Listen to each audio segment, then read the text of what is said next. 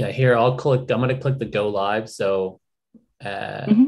right now, so it's now we're streaming on YouTube now. So just want to mm-hmm. everybody knows that.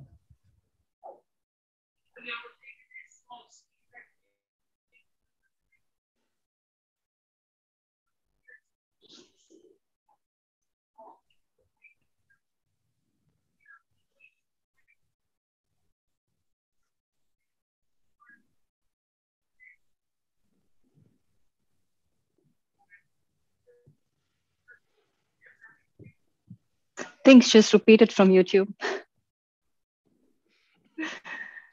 All right.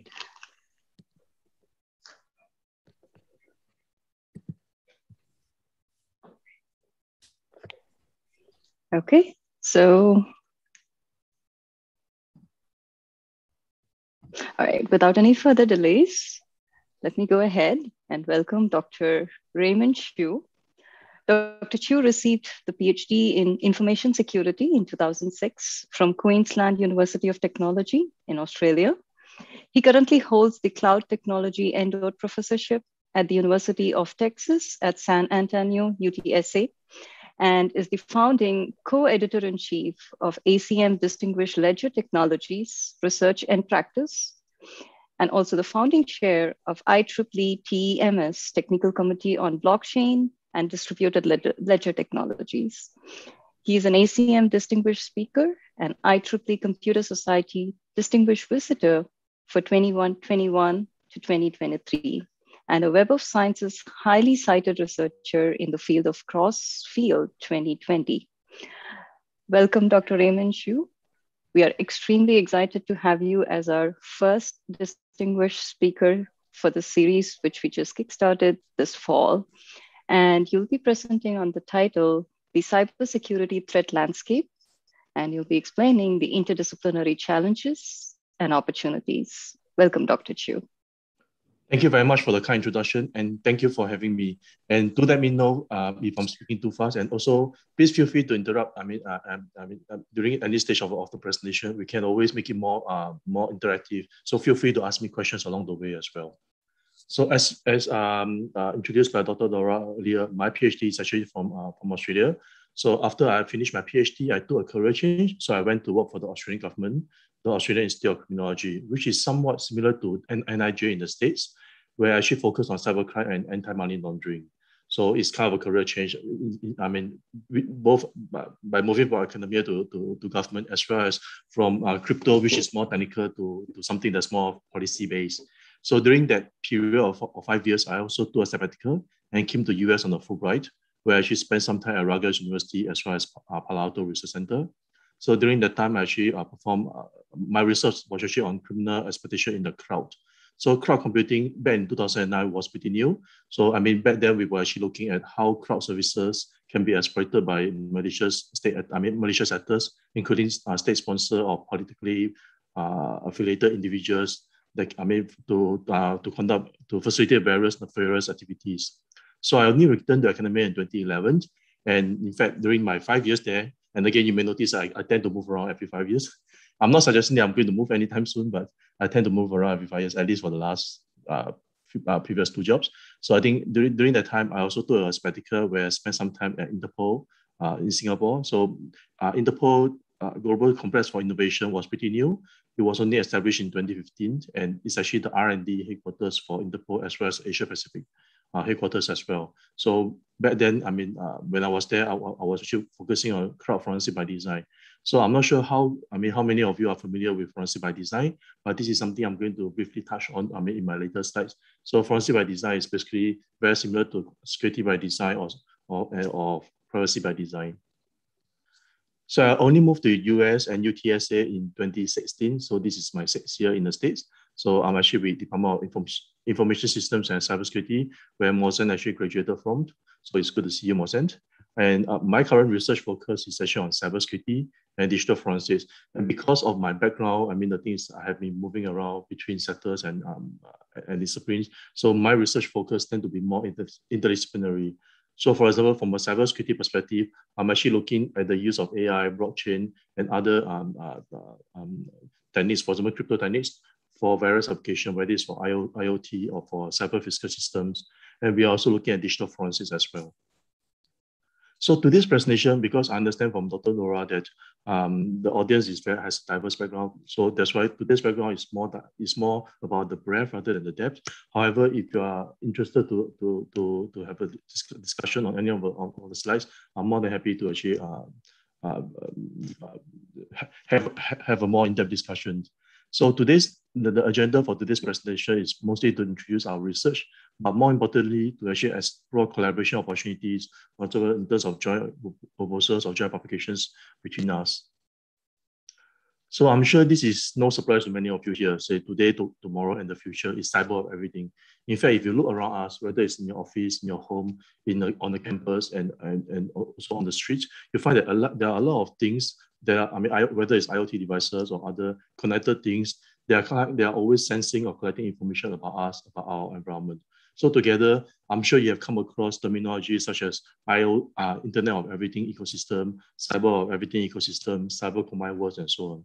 So all these different terminologies, they kind of more or less mean the same thing. So basically, it's urbanization of our society. So everything around us is has some sort of digital, uh, is, is digitalized in, in some sense. They're always sensing and collecting data either about us or around us. So talking about cybersecurity, I mean, which is the focus of today's presentation. So is it hype or reality? So I'm sure Benjamin Franklin is not, uh, is someone that many of you have read about. So many years ago, I mean, this is one of the many, one of the many quotes that he have, that uh, that's attributed to him. So for example, in this world, nothing can be said to be certain except for death and taxes. But if you add cybersecurity, I mean, or cyber attacks to, to the to the to the statement or the observation, I'm pretty sure most of us will actually agree with that, right? Okay. So now the next question is, will malicious actors, so in this case, I define malicious actor very broadly. So malicious actors can be organized criminals, it can be nation states, or it can even be politically or ideologically motivated individuals or groups. So do you think these malicious actors will exploit vulnerabilities in our technologies, for example, whether it's driverless vehicles, drones or other technologies and use these compromised technologies as physical weapons. Because traditionally, we have seen cybercrime as crimes or malicious activity that only happen in cyberspace. There's really no physical connotation. But moving forward, do you think it's possible that, I mean, whatever happens in cyberspace actually has a physical consequences or has a physical connotation? So for example, two or three years ago, there have been a number of terrorist attacks in Europe, uh, France, Aust- I think it's Austria and so on, where terrorists actually get behind the wheels, they hijack vehicles or they um, go behind the wheels and then they drive the vehicles into uh, uh, places of mass gatherings in order to carry out uh, terrorist attacks. So moving ahead, do you think it's possible that given that um, driverless vehicles or electric vehicles such as Tesla and so on, they're becoming more commonplace, do you think it's possible that vulnerabilities in these vehicles can be identified and exploited so that someone behind the keyboard sitting somewhere remotely, whether it's in, in, in the same country or overseas, can actually um, take over this vehicle so that they can actually do a coordinated, attack in the sense that they are going to get behind the wheel. No one is going to get behind the wheel physically, but all they have to do is just to get, I mean, uh, take over the vehicle remotely and then drive this vehicle in a coordinated manner. I mean, uh, uh, targeting places of mass gatherings at, the, at about the same time. Yes or no? Is this Hollywood or, or is this fiction? Maybe. And what about if you're trying to carry out cyber attacks concurrently with physical attacks in order to maximize impact? For example, in, in addition to um, taking over vehicles, at the same time, you bring down communication network, you bring down the emergency response, you bring down uh, uh, the, the traffic light systems and so on. So, so that the thing is, so so you want to actually maximize the the, the, the, the chaos you want to maximize the impact by causing uh, chaos among the society so the question is is this hollywood or is this uh, uh, uh, reality this is this is a question that we have we have been exploring even when i was working uh, in, in my in my previous job so again i'm sure many of you have um, at least watched this movie Fast, Fast and Furious 8. So you may remember the scene from this movie. So the question is, this is Hollywood but is can this actually happen in real life?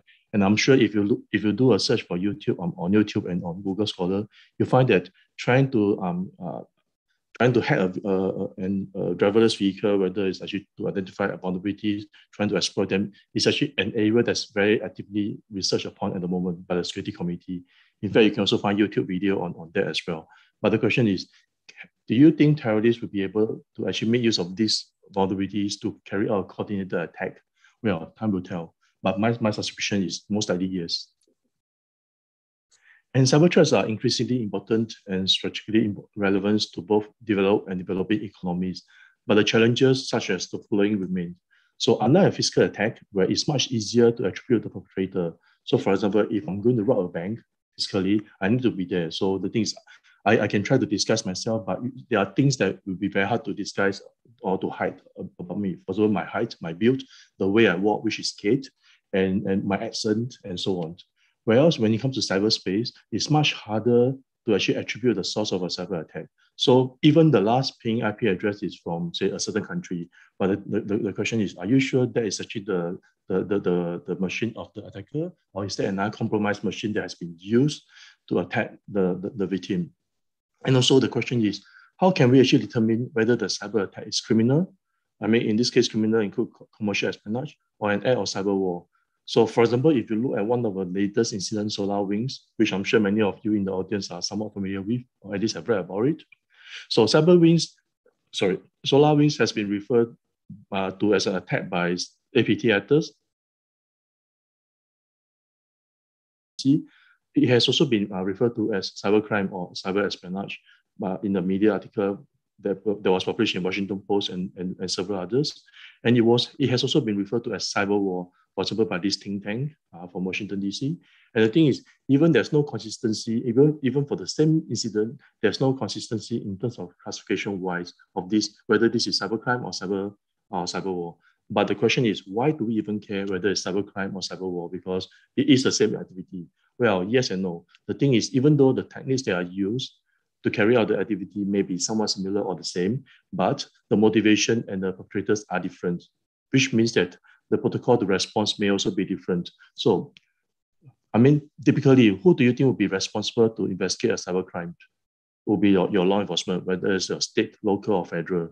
But what about cyber war? So that will be quite different because again, that's the escalation will be quite it will be escalated much higher up the hierarchy for example, most likely it's going to be investigated by the National Security Agency or even your your uh, the the uh, your your defense or your army DoD. And the thing is, cybersecurity has been around for a long time. If you look at conferences like ACM, CCS, USENIX, that's been they have been around for 20, 30, 30 years. So isn't cybersecurity a thing of the past? Because and as, and some of you may have come across the, the terminology cyber fatigue. So in the sense that because CEOs or C-level executive, they have read about cybersecurity so much in the media, in their report, that is they will just think this is just another cost of doing business because we are going to get rich someday. It doesn't matter. So that's why they have this cyber fatigue kicking in. But the thing is, if you look at national, I mean, if you look at uh, some of the threat intelligence or some of the reports that have been put out by whether it's the US White House or the US Office of National Counterintelligence Executive, such as the one that I shared on my slide. So, for example, 10 years ago in 2011, they, they have highlighted the importance of cybersecurity I mean, especially cyber attacks from uh, certain countries. And today, I mean, a few months ago, again, um, another, the annual threat assessment from the same community again pointed out the importance of cybersecurity. And in fact, you, as you can see from the language, cybersecurity is not going to go away anytime soon. In fact, it's going to be more important in the, I mean, in the years that follow because of cyberization, because of the way our society has become more digitalized, more connected. And in fact, moving forward, at least this is a trend in the last five to six years. You find that cyber attacks is becoming more under the radar. They are becoming more sophisticated and persistent. And, and again, some of you may have heard of uh, APT, Advanced Persistent Threats. So basically, many of these attacks, they want to stay under the, they want to hide under the radar as long as they can because they want to, they want to maximize the impact and the reach of their covert data exfiltration. And at the same time, they, they may also be interested, they may also be out to do data ingestion. And again, adversary machine learning is a term is a, is, is a term that some of you may have come across in the last few years. So basically, the, the machine learning model in most cases is as good as the training data.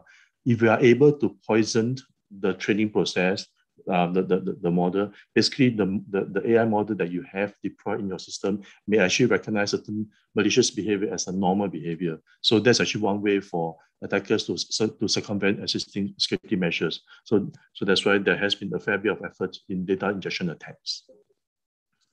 I'm not sure how many of you here are familiar with the terminology false flag cyber operations. Remember earlier I mentioned about um, the, the challenges when it comes to attributing the source of an attack. And also partly it's because of false flag cyber operations. So the definition for, there are a few definitions. So this is actually one definition that is fairly uh, straightforward, I guess. So basically a false flag cyber operation is an attack that's staged in such a way that is trying to pin, that's trying to shift the blame onto another party, whether intentionally or just, just to divert attention away from the real attackers. So in this case, the way they try to stage the attack is they may use a technique. Um, for example, if, if, if, if, one group is trying to, to blame another group for, for the attack, they can try to use the language that's commonly associated with the other group, whether it's uh, Chinese, Russian, or, or another language, in order to actually uh, to, to, to make this force to make this uh, this uh, uh, operation more convincing. The, then the next question is how easy it is to actually conduct a successful false flag cyber operation. Some say it's easy, some say it's challenging, but again, similar to any cyber attack, there are a number of factors involved. So it really depends on the skill set and the resources of the perpetrators. So if you are willing to spend more, more resources, you, are, you have more access to more technical experts, and also you are willing to spend time to actually research on whether, I mean, both the victim as well as the, well, victim in this case, there, there are two sets of victims, the victims that, that you're trying to target and the victims that you're trying to frame. So if you are willing to spend time and effort and also resource into doing this research, then it's not going to be as hard. It's just going to be expensive. So the, the, I mean, the, what are the implications? So in this case, it's going to make our attribution much more challenging, especially for um, for agencies that do not have the same amount of resource or they do not have the same level of expertise. Then there, there's also implications when it comes to digital forensics in the sense that the evidence that we have in front of us, can we really trust our evidence? This is the same situation that some agencies are facing right now because of deepfake, because some of the evidence that they have, they are not sure whether that evidence has been generated by AI. I mean, uh, deepfake, whether it's video or, or image. So the so this is actually a, this is actually a very challenging issue that's been faced by the forensic committee at the moment. Can we really trust our evidence? And again, uh, ransomware is a, is a topic that many of you have read about. In fact, I hope none of you have been affected by ransomware. Uh, ransomware has um, has affected, I mean, uh, organizations in both the public and private sectors, as well as universities and individuals. And this is just a few months ago, where the U.S. House Committee on Energy and Commerce they actually they are actually conducting a hearing on uh, stopping ransomware. So this again is actually a topic of ongoing research. So now I'm going to briefly, briefly introduce some of the cool stuff that we do, but I, I, must I must emphasize that we are not hackers because there is a clear there's a distinction between hackers and researchers, I guess. So this is actually a few years ago. We actually started on this with my uh, st students back at UTSA. So back then we were actually interested. So um, and again, I, I, think cryptocurrency is, is, is something that most of you would not be unfamiliar with. Um, in fact, some of you may, may even be doing crypto mining. So I mean, back, I mean, access to Bitcoins on the wallet without knowing the username and password. If I have access to, to your to your uh, mobile mobile uh, device that actually has the Bitcoin wallet installed. So basically, what we did was we actually uh, studied two popular Bitcoin wallets, as you can, you can see on the slide. So one of them is Ethereum. So basically, we actually perform an offline. We will we actually identify vulnerabilities in the wallet. In this case, the, it's actually a wallet application installed on Android devices we actually found vulnerabilities in the wallet that actually allow us to do an offline brute force attack. So the difference between online and offline, offline brute force attack is if it's an online attack, after say three, three unsuccessful attempts, the account will be locked out. So basically you have to you have to reset the password. Otherwise, there's no way you can gain access to, to that. But offline, it, it, I mean, if you're able to do an offline brute force attack, basically you have all the time and, and, and, and resource in the world to actually try to crack that try to crack the, um, the, the, the, account. So basically, so, so basically we actually found two vulnerabilities that actually, first of all, the first vulnerability allow us to do an offline brute force attack. And the second vulnerability allow us to actually, to actually compile the entire dictionary that actually allow us to do a, a password reset without alerting the, the actual account user. So basically, we were able to reset the password even without knowing the username and password. And by doing that, we were actually able to obtain Bitcoins in the wallet without knowing the user, the, the user credentials. In fact, this research, uh, a few years ago when I went to um, Dublin, so I actually have a chat with one of the investigator from a from one of the financial intelligence unit. So they actually they actually have a case then where they mentioned that they actually have a number of Bitcoin wallets belonging to uh, serious and organized criminals that they are currently being investigated. But the thing is, they do not, they are not cooperative because they do not hand over their, their, their, their, their password. So they are not sure what they can do. So in fact, we share with them this, this research, and I believe it, it, it has helped them to actually get access to, to ho- hopefully the, the, the Bitcoins in the wallet. So this, this research actually has real world implications. And again, this was actually a few years ago, I think just a year before I moved to, to the States. So basically, we found vulnerabilities in commercial 3D printers. Uh, I believe it's MakerBot. So we so what we were able to do is we were actually found vulnerabilities in the in the, in the 3D printers, and we were actually able to uh, extract data covertly from the from the printers, even though we are not directly connected to the printer. So as long as we are connected to one of the devices, whether it's an IoT device or whether it's a, it's a laptop or, or uh, computer within the network, we are able to bounce from, from, that, from that device to this 3D printer and exploit the vulnerability to actually extract data from the 3D printer. Now, the question is, you may ask, why are we interested in 3D printers? The thing is, most of these 3D printers um, are, are, are, actually not deployed at home. They are, they are deployed in the, in a commercial setting, in an organization setting.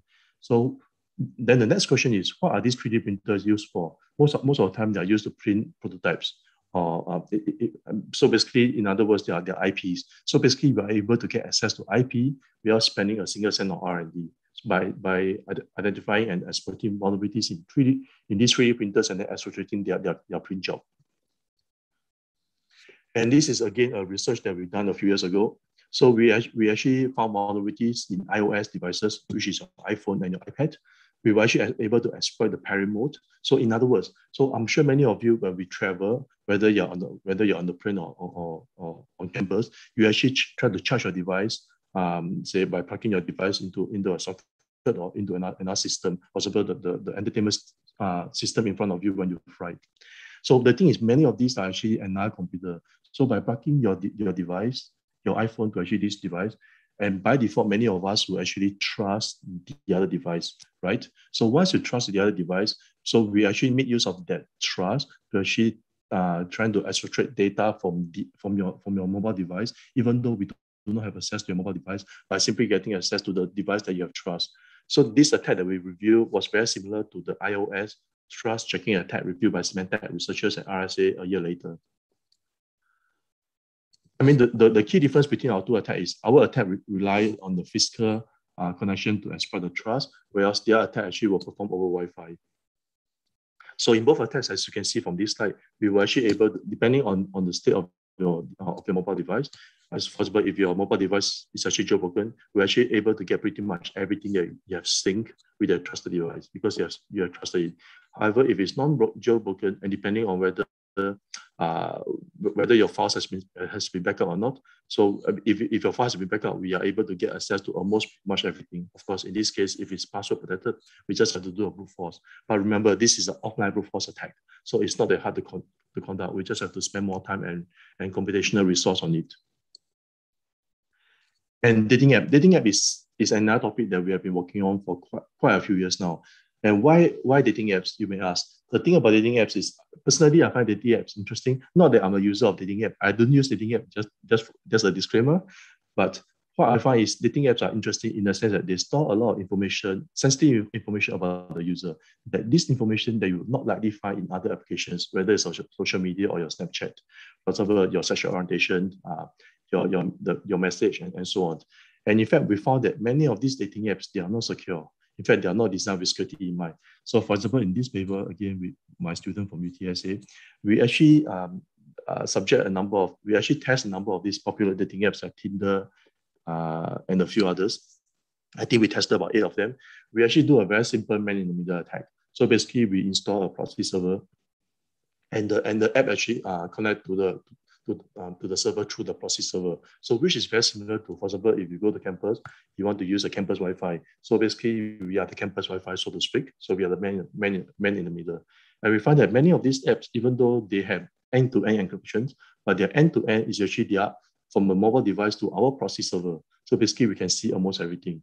And in some of these cases, we are even able to hijack the authentication token because, for example, some of some some users may not be willing to share um, their, their, their, their, their, their legal name or their, their, their, their, their true name. but where else we can find the same information on Facebook. And some of these dating applications, they require the user to have a Facebook account in order to join, to, to, to use the application. So basically, in this application, we are able to intercept the authentication token. So in other words, once we intercept the authentication token, we are able to log in as the user to their Facebook account. So right now, we not only have access to their information on the dating app, we can actually log into the user as themselves and get access to their Facebook account. So we have a wealth of information. And again, this is another application that we work on as well, uh, Happn, which is another application, which is uh, another uh, category of application. But in this case, we are more interested in the forensic aspects. So we we we so we were trying to find out what, we, what type of information we can get if we actually have access to the Android and iOS device where these dating apps were actually installed. And again, we were able to uh, uh, uh, acquire a wealth of information. And as you know, dating apps, there are many different audiences. They serve different audiences. So you have Tinder, you have Grindr, and so on. So this is another uh, uh app, app that we actually investigated a few years ago. And we were actually able to make use of their GPS triangulation. So based on this um, uh, feature, we were actually able to identify who are our neighbors who are actually users of this app. So in this case, this app is actually for swingers and for people who are in, into certain lifestyle. And of course, there's certain implications. I mean, you, you may ask, so what if I if a user of this app? There are, there are national security implications of dating apps. So for example, as you can see on this slide, so it can be used for honey traps. And also, I think there's also national security implication. So, for example, the US government is actually forcing one of our Chinese firm to sell the uh, gay dating app over because it's because they're worried that the data may actually be used for extortion or for uh, for other nefarious purposes. So, as you can see, as I mentioned before, dating apps they store a wealth of information, but dating app, whether it's security or forensics, what we found is surprisingly is actually understudied as compared to other uh, app category such as your Facebook, your, your, your social media, and so on. So this is actually an hour that we have done uh, a few years ago. So I was very interested to see what type of data can we exfiltrate and in, in what way that's going to be covered. So in, in this case, we found that we are actually able to um, exfiltrate data from uh, compromised devices, whether it's your iPhone, whether it's your iPhone, Android phone, or even your laptop or your systems, using inaudible, uh, using very high frequency uh, sound. So basically it's between 20 to 20 to 21 kilohertz or 22 kilohertz as you can see. So as you know, for Android devices, they have permissions. But if you try to exfiltrate data with, in this frequency using the speaker, there's no permission required at all. But of course, there is a there is a trade-off. So the accuracy is within five meters. And but the thing is, we can actually increase the range if we actually use a high gain microphone, or if we can actually use another drone. This is this is an idea that never occurred to us until we until we saw this, this research. So basically, this research is actually uh, is actually by another group from Singapore and, and Israel. So they actually want out to they actually want to extend our, our, our technique to actually expand the, the, the, the, range by using the drone, something like man in the middle. So basically, the, the, the data from a mobile device is going to hop to, actually, to be sent to this uh, man, in, man in the middle before being be, be sent out to the outside world. And again, personally, I actually I, I actually enjoy doing some of the offensive research, some of the uh, vulnerability identification and exploitation, but it's not as easy. So this is something I'm, I'm uh, well, I'm not sure whether it's embarrassing or not. But anyway, this is this is a paper that we we we we have quite a hard time in publishing because when we sent to a few few few uh, venues, we kind of encounter the, the, the same the, the, same resistance before we managed to publish two years ago. So uh, last year, sorry. So basically, in this work, we actually found a way. We actually come up with a package where we, we so we, we actually come up with a framework where we actually package existing tools to exploit vulnerabilities in uh in, in, in virtual machine that has no fix.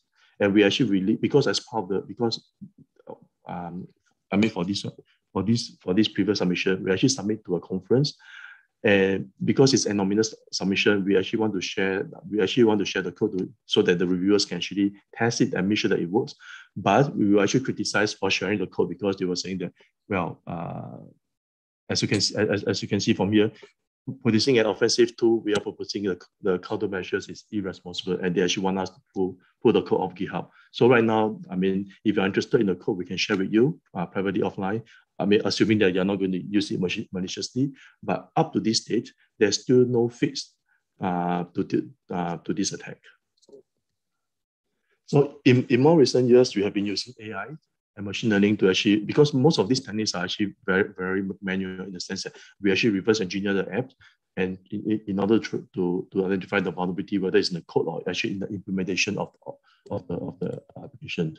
So for example, in this work, which was uh, uh, last two years ago, we actually uh, come up with a deep learning based fuzzing methods. So some of you may be familiar, uh, fuzzing is actually a tool that, that, that you can use to identify vulnerabilities, whether in your systems or in your devices. So basically, we use a deep learning-based uh, approach to actually uh, enhance the fuzzing. So we were actually able to identify more vulnerabilities um, compared to existing uh, fuzzing tools. In fact, uh, more interestingly, we actually use our tool to actually uh, on the commercial middleware from Huawei, and we actually identified nine previously unknown vulnerabilities including flaws that can lead to uh, DOS or system crash. Now, the next question is, can we actually use some of these vulnerabilities that we identify to facilitate um, digital forensics? Maybe from a technical point of view, yes, but from a legal point of view or from a, uh, from a political point of view, it may be too intrusive. It really depends on the jurisdiction that you're working in and also the evidence law of, of the jurisdiction. So this is actually another work that, that we work on. So as you know, many of, as I mentioned before as well, so many of the uh, network traffic, they're, they're end-to-end encrypted. So basically, even if you intercept the, the network traffic, it's really garbage to you unless you, you have the, the decryption key or yeah, if you know how to decrypt the message. But the thing is, if, even though they're actually encrypted, but there is actually a, a difference in, in, terms of the data stream, uh, the, in terms of the randomness of the data stream for video data or for certain data types. So in, in other words, we are, we are able to do a, a, a um, some sort of classification of, of the encrypted network. So basically, this is actually an, an idea that we have from, a, from a, uh, an earlier work. So some of you may have may be familiar with WeChat. So WeChat is a is an application that's very popular among the Chinese users, especially in China. So basically, WeChat, in addition to the functionalities that you found in uh, in your Facebook Messenger or your Snapchat and so on, they actually allow users to exchange RIP packets. So basically, fund transfer. So basically, what in this earlier work, what we're interested in is, are we able to identify uh, fund transfer or some of these financial transactions, even though it's encrypted? So what we did was we actually found that there are, there are, there are certain features that the, the data is actually not as random as as they should be. And based on this non-randomness, we are actually able to distinguish, we are able to separate out or classify uh, or filter out um, uh, encrypted data that, that consists of this uh, fund transfer or uh, financial transactions. And similarly, for this work, we were actually able to, to by, by studying the randomness of the different data streams, we were able to do classifications of the different data types, even though, I mean, we are, we are the need to actually decrypt the, the, the, the network. So this is actually uh, more recent research. So uh, I mean, recently in the last two months, we actually have received three NSA grants. So this is one of the three NSA grants that we received. So what we are working on is actually to use machine learning in, to help us to do cyber cyber threat intelligence and hunting for IoT systems.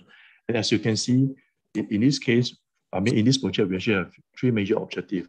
So the first objective is to create some sort of generalizable IoT knowledge base, because as you know, IoT devices they are very diverse and they have many they're, they're diverse in the sense that in terms of device type, in terms of data they collected, in terms of the OS, uh, the the file system, and so on. So what we want to is actually to create an generalized IoT knowledge base um, comprising information that's going to help us in our threat hunting or depending on what, what you want to do, whether it's for forensics or whether it's for certain certain specific threat hunting. So we want to create these different data, these different uh, knowledge bases. So the second objective is actually to integrate this knowledge base and the standard log files and other necessary information to be able to answer and uh, reason over questions from analysis from analysts. So for, for example, this analyst may be interested to find out, okay, can you tell me the, the devices that will actually access on this time, this state, I mean, within a certain time frame by a certain user that should not have accessed uh, these devices uh, within this time frame. So based on the query that actually issued by the human analyst, I mean, the, the system is able to go to this different data set, do the do the analysis, the, the mining, and then return the, the, the, the, the solution back to this analyst. And of course, this the the last objective is basically to integrate this implicit uh, feedback between the analyst and the chat system to improvement to improve the performance over time. So it's an iterative process. We want to based on this human interaction. Basically, this is you can be considered this as a human loop. So based on this interaction, we want to refine the system so that it gets more accurate I mean, as, as, as we build our knowledge base, and also as we actually, um, based on the feedback from a human analyst, we can actually feed that uh, back into the, into the system. So this is actually the second project that we received um, in the same time period. So basically, we want we, we want to design different techniques that kind of whether it's fully automated or semi uh, or semi-automated to help us to detect the risk and also to mitigate the risk in terms of uh, AI-based attacks. So in this case, we are we are thinking of it, it could be uh, data injection attacks, like I mentioned earlier, or data island poisoning attacks. So because these days there are a number of attacks that are actually being carried out using different AI tools. So we want to be able to be we want to be more effective in uh, in reducing the false positive, so that we can we can also do the triage as well. So again, as you can see, there's some suggestions of human over here. So it's it's also human in the loop. So this is the third project that we received. And again, this is the human actually plays a more prominent role in here. So basically we want to have a more, we want to have focus on the human in the loop, explainable AI. Why explainable AI is because I mean, I mean, in this particular project, we, we want part of part of the result that we get from this system, we want to be able to use this result as evidence that can be admissible in the court of law. But if you use the black box AI, because black box AI, as you know, is opaque, so basically I have no way of um, knowing how, I mean, how, okay, I mean, from, from the input to the output, I have no way of how, I have no way of explaining to the court or to the jury how, how the input, I mean, how I uh, go from the input to the output. So that's really, so it, I mean, it doesn't help when it comes to you uh, presenting this evidence as an expert witness in court. So that's why we want to have an explainable AI in the sense that we are able to show step by step or at least close close to that so that we can actually explain to the jury, to the prosecutor on how we actually arrive at this evidence. And in fact, we are this is a project that's been uh, in collaboration with my colleagues from University of Texas in, in Dallas. We are also recruiting a two-year postdoc. So if you have any students or anyone that you know interested who's also a US citizen and PR, uh, you feel free to refer to me. And this, the last project also has a more forensic uh, uh, feel to it because why forensic is one of the things we found that when, when it comes to IoT forensics and IoT security, even though they kind of go hand in hand, they complement each other, but IoT forensics tend to be the poorer cousin in the sense that this is a research, I mean, this is a, a quick search that I done performed on Google Scholar just yesterday. And if you look papers, whereas IoT security over the same time period is 28,000.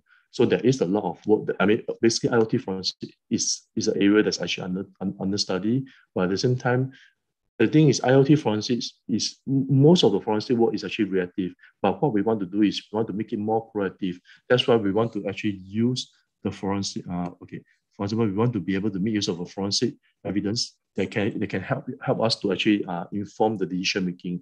For example, some of, some of the data we collect as part of the forensic investigation can actually be used to train the AI model because we know that after the forensic investigation, we know that these these these activities are clearly malicious. So we can actually so basically this is uh, some sort of your of your label data. And in fact, this is an hour that we done. So we were trying to look for because we are trying to do a, a survey of IoT uh, of research, the, the various topic. So in fact, as you can see, IoT forensic is too small to even appear as a bubble. So you have authentication, you have cloud computing and, and IoT, smart city, industry 4 and so on, but there's no IoT forensic. It's just too small. Which, which is in a way is good as well because this is actually a research opportunity. I mean, for those of you who are interested in forensics or integrating forensics and security. As I mentioned, uh, I think uh, as Dr. Dora has uh, introduced earlier, so I mean, if you're interested in blockchain, so these are two of the initiatives that we have recently uh, established. So one is the Technical Committee on Blockchain and DLT. So it was only formed a few months ago, but right now we have over 100 founding members from all from all the continents except for Antarctica. But my understanding is there's no country in in in, in, in, in Antarctica, so I think we are pretty safe in that sense. And as part of this technical committee, we have 12 special interest group. We have five subcommittees and five chapters. So if you're interested, feel free to join us and also sing out with any of these special interest group subcommittees or chapters. We also we also have set up a new journal with ACM on DLT, and this is designed to be a, an interdisciplinary uh, journal. So we accept submissions from different disciplines, from business, from technical, from economics, law, and so on. And we should start uh, accepting submissions by the end of this month. And when it comes, so why did I introduce about blockchain? Because to me, I see there's a lot of potential to use blockchain in IoT, security, and forensics, as well as cybersecurity. So for example, one of the areas that we are currently looking at is how can we actually use blockchain to forensic, to facilitate forensic by design. I've mentioned this terminology twice, but I don't think I really explained it. I, I think I have a few slides at the back. No, I, I missed it. Okay, so basically forensic by design is, as I mentioned earlier, is very similar to secure by design and and privacy by design, but it, in a different way. So, for example, when a system is hacked or when a system is compromised, where do you look for evidence? Right now, I have no answer for you because it really depends on, on the system setup. It can be on the device. In, in this case, the device can be your, the, your user device or can be the device that is used by the vendor or by any users. It can also be the server or the edge device, or it can be in a cloud, uh, cloud computing, or for example, if, if it's in a home environment, for example, uh, if you use, uh, say, Amazon, uh, AWS, it may, may be uh, in the Amazon AWS server, or if you use the Ring camera or some, some other uh, systems, it can actually be at the service provider. So basically, the I mean, in, in other words, the, the evidence actually exists in many different places, and it can be very challenging when it when it comes to con- uh, conducting a forensic investigation or, or, criminal investigation because right now the, the investigation the, the data is actually not in one central place. It can be on your device, it can be in the cloud, it can be somewhere else, and in some cases, it may even be in other jurisdiction where the law enforcement agency has no power over, I mean, to, to actually acquire the, the data. So what we are proposing in this is actually to design a system that's forensically friendly in the sense that, so the thing is, think of it as a forensic black box. So I'm sure many of you are familiar with the concept of black box. or a cockpit recorder. So for example, when an aeroplane goes down or when there's an accident involving the aeroplane. So usually the FAA investigator, they'll go to the, they'll look for the forensic web, sorry, they'll look for the cockpit recorder to actually understand what happened before the plane goes down or before the before the accident. So what we are proposing here is some somewhat conceptually very similar. So can we actually build this digital forensic black box? It can be centralized or it, it can be decentralized. It really depends on your system setting. So this forensic black box is going to collect data. In this case, we do not want to collect all the data. We want to collect only data of forensic interest or of investigative interest in the future. They can actually be, and again, this data, the thing is, this data is not used only for forensic investigation for the future, but it can also be used to, to actually inform your machine learning, your AI training. For example, this, so, so basically, so, so basically, this this this was this, this um, the data uh, collected by this digital forensic black has two purposes. It, it's used for forensic as well as it's used for security measure as well. And also, because when it comes to forensic investigation, you have to ensure the integrity of the data. You have to ensure the chain of custody. So in this case, blockchain can actually play an important role in ensuring the chain of custody. So, however, can broad so the next question is can blockchain be used in other forensic application other than to preserve the integrity of data to help you in the chain of custody? The answer is yes, because the thing is blockchain can also be used to facilitate data sharing. So in, in another research that I'm currently working on, so we are trying to use blockchain to actually build an ecosystem, a data sharing or data uh, trading ecosystems in the sense that uh, can we actually use blockchain to actually uh, do a peer-to-peer system, uh, no, sorry, let me rephrase. Can we actually use blockchain to design a platform that can kind of be used to facilitate peer-to-peer machine learning uh, training, for example, your federated learning, but in the peer-to-peer manner? Because as you know, peer, federated learning is actually still rely on the best, on the, on the central model that kind of train the global model based on the different updates of the, of the local models from the, from the local users. But what we are trying to propose here is trying to use, trying to design a blockchain-based platform to actually do a peer-to-peer federated learning. So it's moving away from a centralized server for federated learning. So this is actually another research that we, that we are currently working on. So I think with that, I end my presentation. I'm happy to take any questions. I hope I have not spoken too fast. Thank you.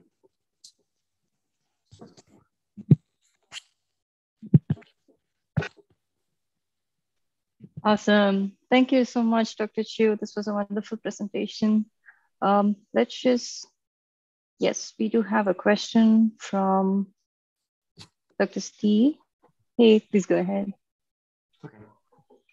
Dr. Choo, thank you for your presentation. It's very interesting. And I'm particularly intrigued by your, your background photography and how you have worked with so many various communities like law enforcement. So my question for you is, as you work with these other communities in an, with an interdisciplinary focus, do you tend to see very open, collaborative environments because you have similar interests? Uh, or are there challenges to collaboration with particular communities that may come up, say, from the sensitive nature of the data or the techniques or the methodologies, you know, especially thinking about law enforcement sensitive data here. Right. Thanks. For, I mean, uh, uh, thanks, uh, Dr. Weldon, for, for this uh, question. So, in fact, my background is somewhat unique because what, what I did not mention in, in, my in my introduction is I used to work for, uh, I, I, used to work in the Singapore Police Force as a police officer before moving to the, to the US. I mean, before moving to Australia.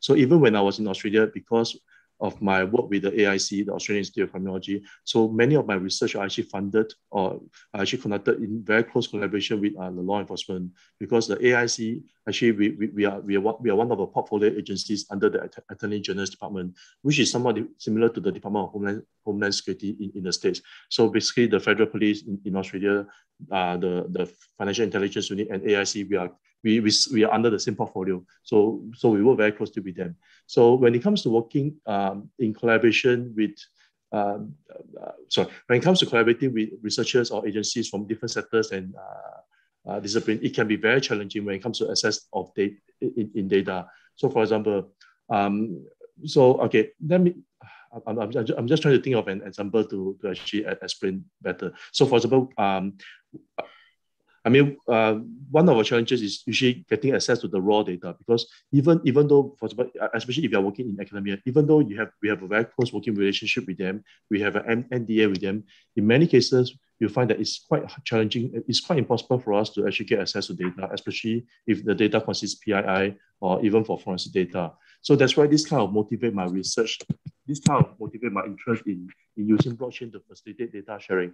So what we are trying to propose in this work is, for example, can we actually design a platform in the sense that, for example, I mean, say, say because right now there are 18 audience. So assuming that I'm, I'm a user, I'm interested to, to, to answer a certain question, but the, the 17 of you actually have access to, you actually have different data set that can actually help to answer my question collectively. collectively. The thing is, you are not able to share your data set with me because of uh, various reasons. So what, what, what we are trying to do here is actually to use a blockchain to design this platform where we, we can actually train the model to actually go to your different respective uh, users to actually uh, get the answers that I want. And then, so basically, yeah, this platform is able to present the, the results collectively to me without me having access to the different data sets. So this actually, this is, this platform is actually uh, basically inspired or motivated by my experience working with these different agencies because it's very challenging or in some cases impossible to get access to their data. And getting access to data is not the only challenges, but I mean, there are also challenges in terms of, the language. In this case, I'm not referring to linguistic language, but more referring to the, the language that have been used in the various disciplines. So for example, survey. Survey can mean very, very different things in different committee. So survey in some committee, it means questionnaire survey, whereas survey in some other committee can mean a, a need review. And this is, this is just one simple example of, of the different uh, differences in language and also in differences in the research methods as well. So one of the one of the things that I often have to navigate is trying to explain the importance of say uh, a certain method or the importance of certain focus from one discipline to to my collaborators in a different discipline because to to, to my collaborators in a different possible I mean, say between technical and non-technical. So in for so usually for for for those in computer science or for those in more technical research, to them I mean, a, a, research is considered interesting if we if, if they come up with new algorithms or if they come up with a, a, new uh, a, a, new platform or a new system. Whereas this is not so much a case for so for say someone in criminology or someone in, in legal studies because to them if you're if you're able to use something even very simple, a, a, much simpler AI technique they can actually help them to solve an interesting social phenomenon, that's going to be that's going to be you know uh, uh, uh intellectual merit or or novel contribution. So trying to navigate that is also not sometimes not easy as well. So I hope I have answered your question in a roundabout yes, way. Thank you. No problem. So and again, thank I really so have much, no Dr. answer. Choo. Oh, no problem.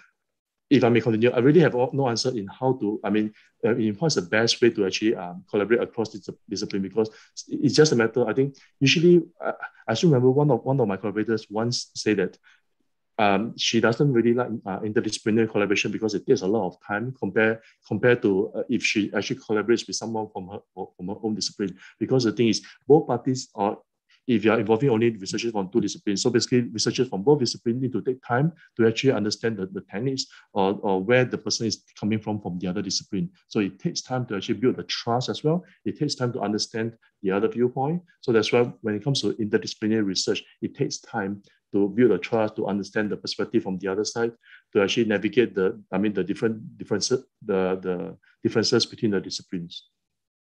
But I think it's actually a very rewarding exercise. Personally, I actually I, I, I, I actually enjoy the interdisciplinary collaboration. Thank you. All right, we do have a question from Mr. Patrick. Hello, yes. Uh, so I had a question earlier on in the presentation, Dr. Choo. You mentioned that one of the emerging problems in cybersecurity has to do with data injection and how there can be what's known as kind of poisonous uh, training data that can be infecting in uh, training models. And that can, of course, come out when the models perform whatever actions being required of them later on. Um, I wanted to know if you had any, I guess, examples um, of how this was this has been used lately in cyber attacks, and also what are the leading strategies and difficulties when it comes to handling um, this poison training data, and what are the, I guess, main ideas of verifying that training data is secure for training a model? Yes, right now I don't think I have, I, I have the answer for you in terms of what's the best way to detect uh, data, data injection because similar to cyber attacks, I mean at the end of the day, how effective or how, how effective is the detection really depends on how skillful the attacker is and the techniques that they use. Right now, I mean de detecting data injection or even carrying out data injection attacks is actually uh, is actually an, a research area that's very active because if you look, example, if you look at the ICML, some of the top conferences in this area, the ICML, AAAI, IJCAI, you see that there's, there is a lot of work right, right now. They actually propose new methods to, to both carry out data injection or data uh, island poisoning attacks as well as data injection attacks.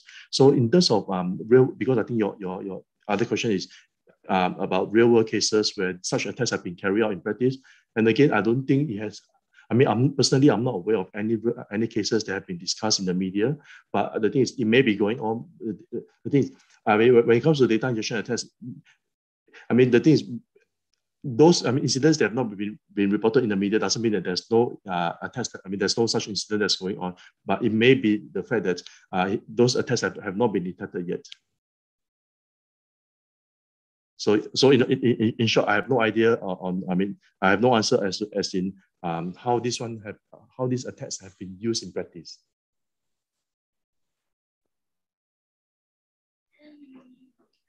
Thank you, Mr. Patrick. Thank you, Dr. Choo. Hmm? All right. Do we have any other questions for Dr. Choo?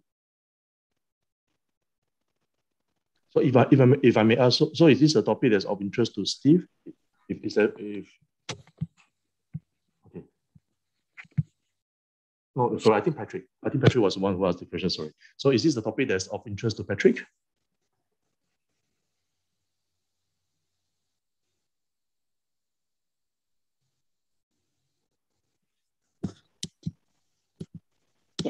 Um, all right. Okay, so uh, Mr. Patrick, if you don't, if you're unable to, um, you know, talk, probably you can leave a response for us in the chat. And let's see if we can move on with any other questions anyone else has. All right, so let me just quickly check the YouTube channel to see if we have any questions for you over there.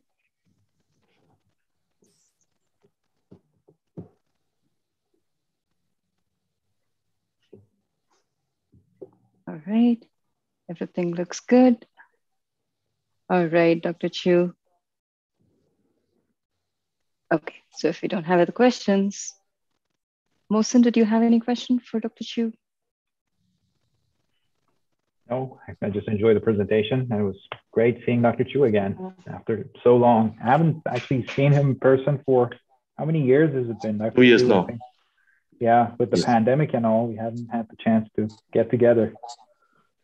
So, by the way, are you, are you in the ICs, I think, uh, next month in Austin?